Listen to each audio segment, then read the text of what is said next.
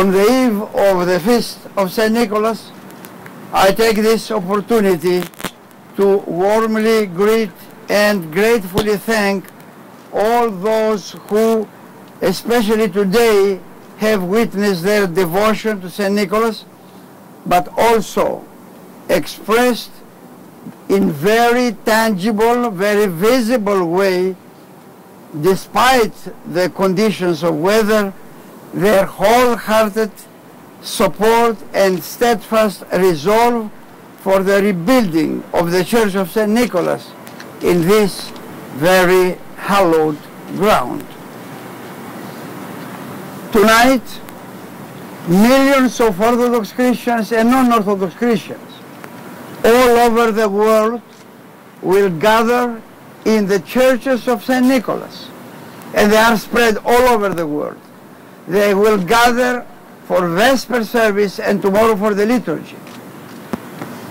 We gathered but without a church.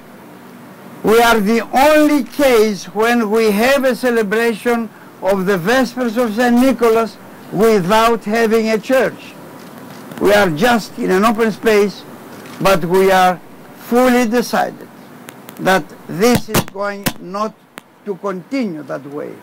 We have to be as soon as possible in a position together with the glorious basilicas of St. Nicholas and the glorious cathedrals of St. Nicholas and the glorious Byzantine Church of St. Nicholas and even the small chapels of St. Nicholas. We are going to be in a position to add here a church when it was a church for 80 years plus. So then we will be able, together with the rest of the 300 million Orthodox people, to celebrate the memory of the great saint in a proper church. Almost 10 years ago, our city and nation suffered a terrorist attack of unparalleled proportions. In addition to the tragic and horrific loss of almost 3,000 people, the impossible to imagine catastrophe of the Twin Towers had a result, as we know, on our only existing religious monument in this area, St. Nicholas, when one of the two towers fall on St. Nicholas and render it into a mass of just thickness of one foot and then push it down to the underground.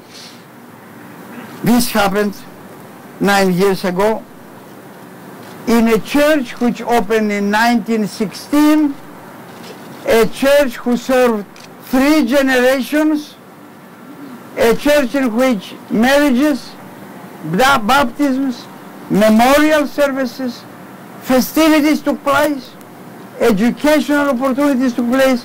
This church just disappeared in a moment, and so today we are still in a condition of not having this availability and depriving not only the local community but also plenty of people of the existence of a church.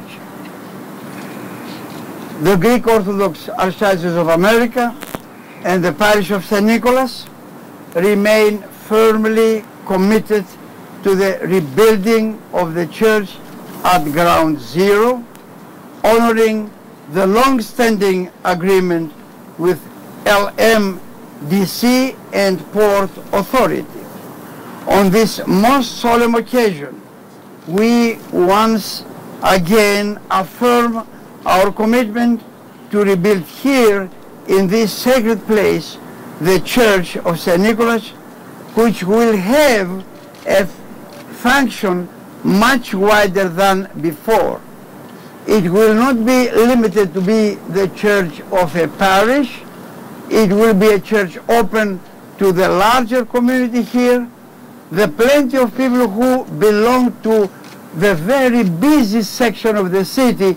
This is perhaps one of the most busy places in the world, and the people working here in these huge buildings need some time to take some rest from what they are doing enter into a place of serenity and have a quiet time for rebuilding themselves spiritually and psychologically. So this church will serve this purpose. This church will be a witness of the power of love to rebuild where hatred and evil demolished. It will be a witness to hope, to progress, to peace, to reconciliation among the people. It won't be simply a church for a community. It will be a much larger serving edifice and holy place. This is why the need for a building is urgent and immediate.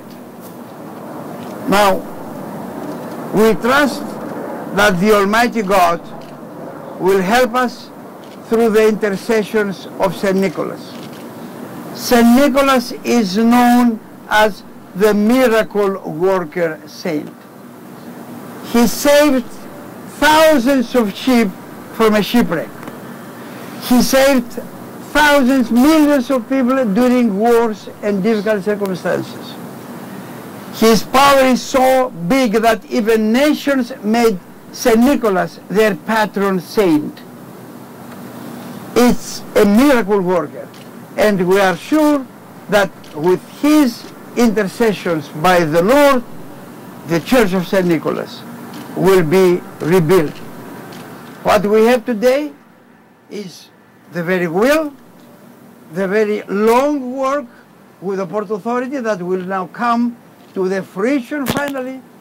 We have just a few items that some young people are holding there, an icon, some pieces from a candelabrum, some book, half burned, miraculously saved.